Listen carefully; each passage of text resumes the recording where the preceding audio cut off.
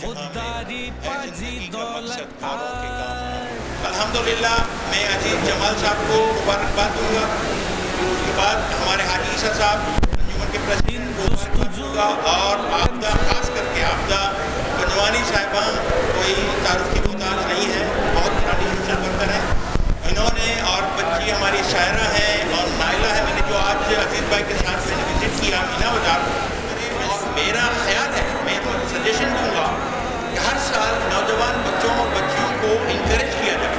इसी तरह के प्रोग्राम करके ताकि हर साल अपनी सलाहियतों को बुरोकार लाते हुए हमारी न सिर्फ़ बरदरी न सिर्फ़ ख़ानदान, बल्कि हमारी पूरी कौम as a general Memon organisation या मेमन कम्युनिटी वो एक सरमाया इफ्तार बन जाए और बाईस फ़खर उसके साथ ये आप लोगों को सबको मुबारकबाद दूँगा। कि अल्लाह आपको दिन दुगनी रातों की तरक्की दे और इसी तरह